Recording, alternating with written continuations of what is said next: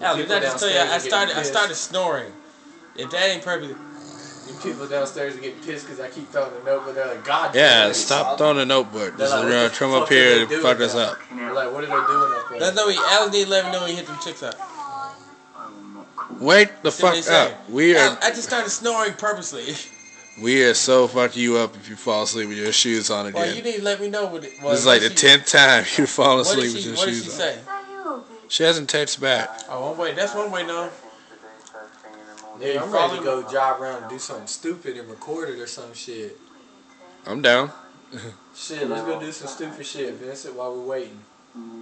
Let's go over to Bayview and do some crazy ass shit. Maybe that is uh. Where the hell is Bayview anyway? Oh, baby is a place I work. It's at. only like 10 minutes away. Oh, Bayview in? Oh, what if I guess? Baby what if. I did a kill? You on half, dog. You on half a tank. Oh, Bayview Park. Oh, okay. I got you, dog, on gas this weekend. Since we're gonna be chilling again. As long as you down, as long as you down, you know what I'm saying, for the party, I'm down for the money. Shit was good. Party tomorrow, definitely. I'm just saying, I ain't ready to call it a night yet. I'm still bright eyed. This nigga already called it a night. Party all night. If I fall asleep now, I'll be pissed at myself. Put the phone down next to the vagina for me talk to her. That's my Johnson man I can talk to. Uh, Hello? That Jackie's vagina? hello, that that uh, I up.